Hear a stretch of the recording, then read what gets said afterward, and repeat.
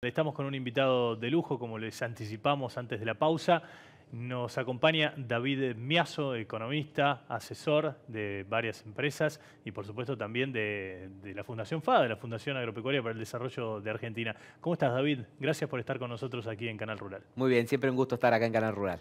Bueno, recibimos un informe hoy de Coninagro en el cual has trabajado respecto de lo que es eh, la venta por parte de los productores del grano y la liquidación de divisas, un tema que hoy es realmente muy polémico porque mucho se ha hablado en este último tiempo que venía atrasada la cosecha y que venía atrasada también la venta de los productores por una cuestión de incertidumbre económica, retraso cambiario, em, bueno, cuestiones vinculadas a la posible especulación de los productores, a la espera de un mejor tipo de cambio, en fin. Eh, ¿qué, análisis se puede hacer de esta situación?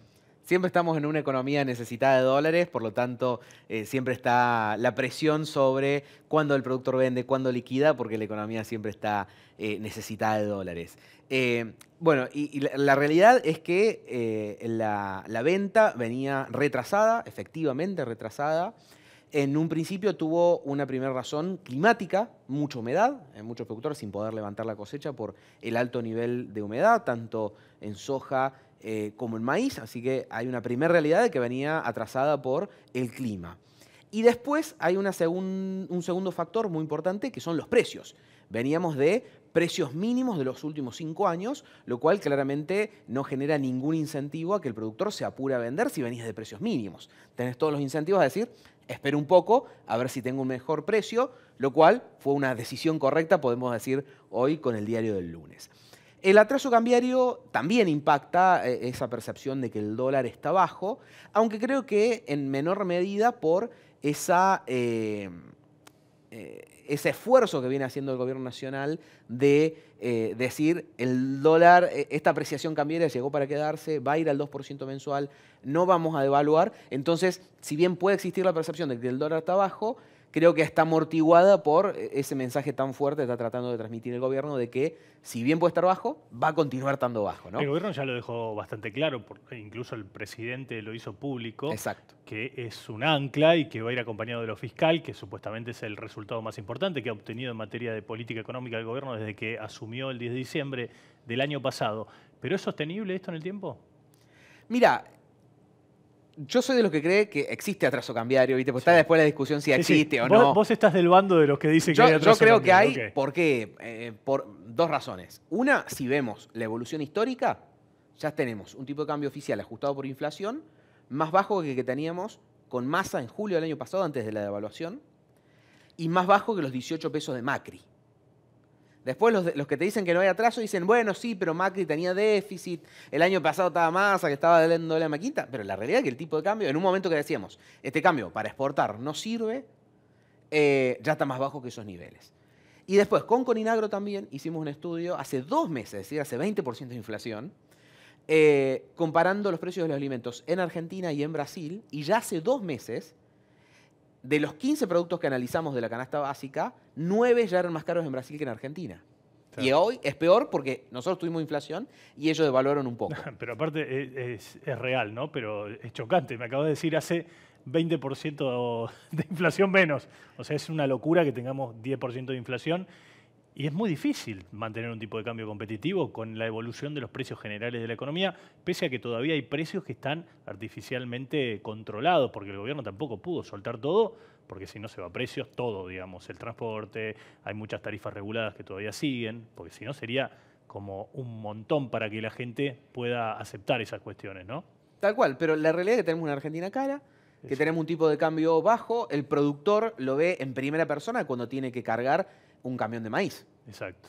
Y si lo carga desde Río Cuarto, se lleva más del 25% del maíz que está trasladando. Ese siempre ha sido el indicador eh, más, eh, más atinado para el agro para ver dónde está el tipo de cambio. Que de hecho el agro en realidad es el que necesita menos tipo de cambio de todos los sectores económicos porque es el más competitivo. El tema es que tiene tipo de cambio bajo y retenciones.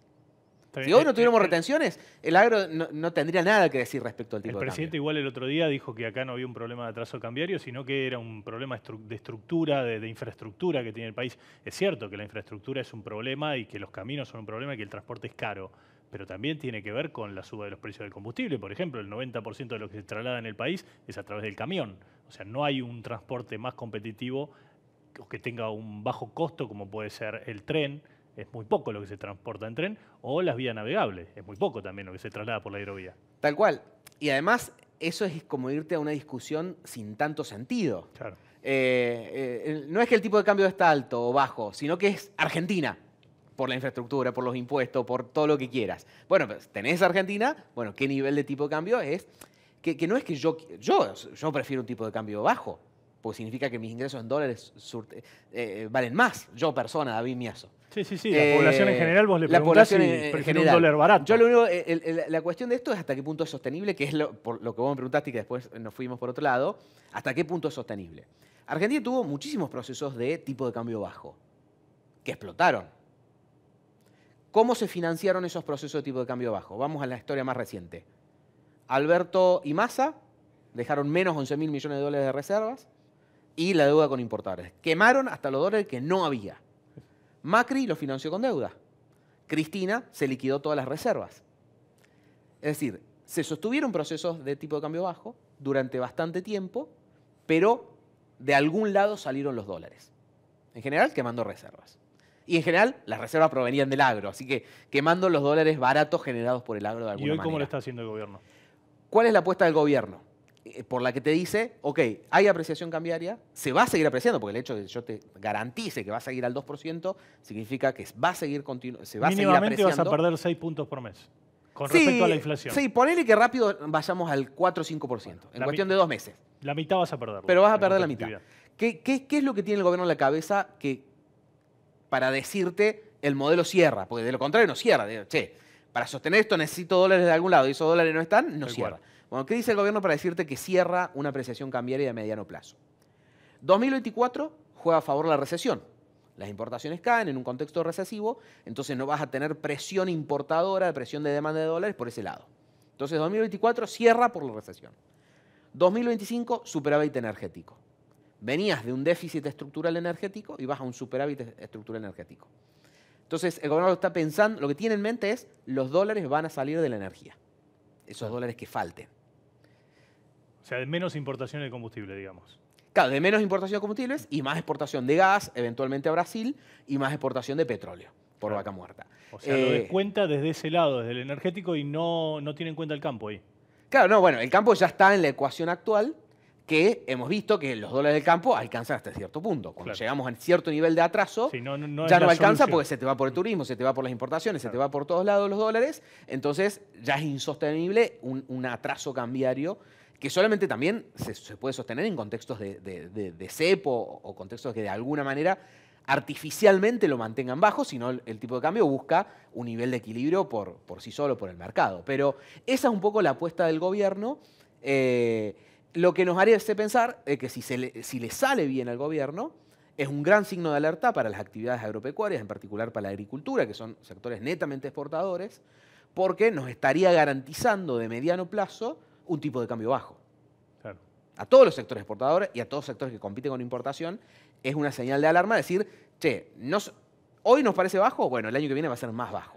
Bueno, en cierta forma mi ley también este, tiene como referencia la década del 90 y el gobierno de Carlos Menem, y en esa forma, en ese, en ese gobierno de Carlos Menem, durante esa década hubo una pérdida de competitividad enorme ¿no? por la convertibilidad al campo. ¿Y se puede llegar a esperar lo mismo en los próximos años?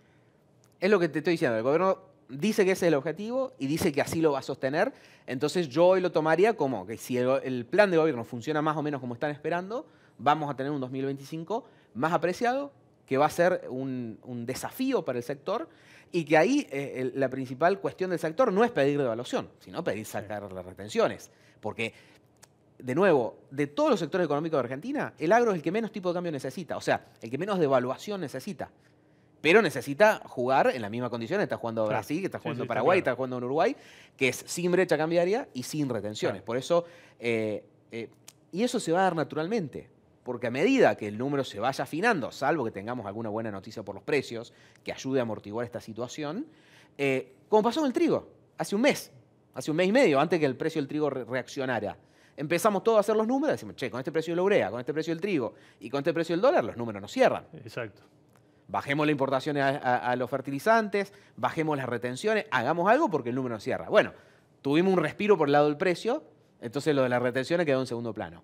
Pero digo, a lo que te iba a decir, esto va a surgir naturalmente. Los productores y las entidades que lo representan, a medida que vayan viendo que los números para la campaña 24-25 de gruesa se van afinando, van a empezar a decir, muchachos, esto no cierra, hagamos algo y, se va a acrecentar la presión sobre las retenciones, que es el lugar, eh, que es lo que hay que ajustar, digamos, la parte de los impuestos. No, necesariamente pedido de evaluación porque, eh, de nuevo, es el sector que menos la necesita. David, rápido, antes de cerrar, porque estamos con muy poco tiempo. Eh, bueno, decíamos la, cosecha o la comercialización viene a un 34%, dos puntos por ciento menos que los últimos dos años, pero casi seis puntos menos que el promedio de los últimos cinco. ¿Por qué crees que sea esto? Exactamente, viene retrasada.